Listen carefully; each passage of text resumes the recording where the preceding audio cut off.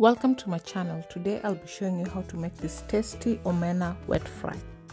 So to start off, sort out your omenas, um, remove any bad ones. Once that is done, boil your omenas really really well. And once that is done as well, you rinse your omenas severally. You can use cold water. I prefer uh, rinsing my omenas with hot water two to three times once that is done, I return them back to the sufuria or on medium heat so that the water completely dries off. This will help your omenas not to break or have them soggy when you are doing the wet fry for them. So please, if you can, do not skip this step. Dry your omenas a little bit. It makes your work easier so as the omena dry i'll go ahead and show you the ingredients that i'll be using for this recipe. So for my ingredients i have chopped onions chopped coriander tomatoes and paprika. The spices are all optional. If you do not use spices you can leave them out. So i have some royco cumin and paprika and of course some salt all which are one teaspoon then go ahead to heat your pan or sufuria with some oil. Then add your onions and let them cook until they are golden brown.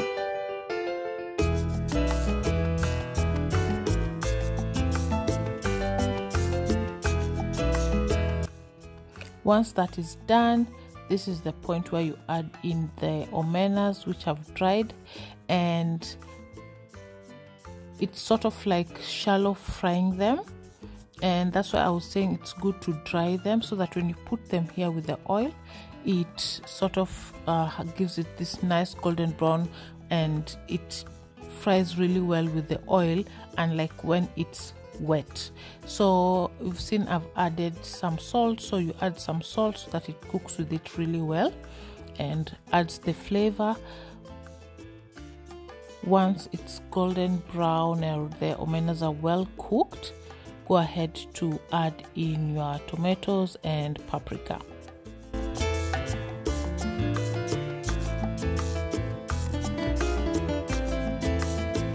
I also prefer to add my spices at this point so that they can cook well with the vegetables.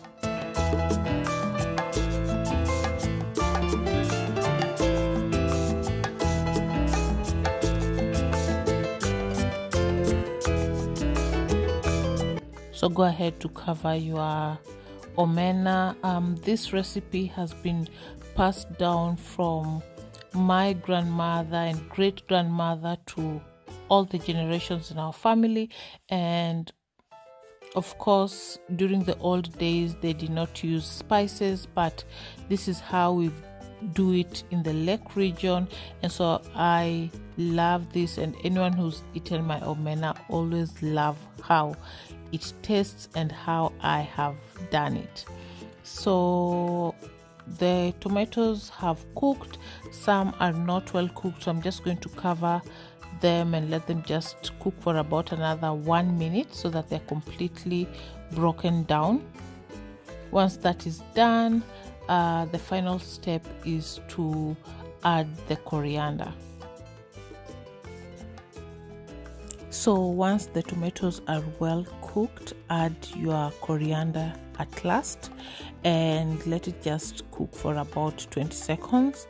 Then the omena is ready to serve. I love to serve mine with some lemon or some lime and I squeeze the lemon juice onto the omena. It adds this you know tangy nice flavor to the omena and it's really really good um, I also have a video that I did of the omena that is with the stew and how we make it by adding some milk.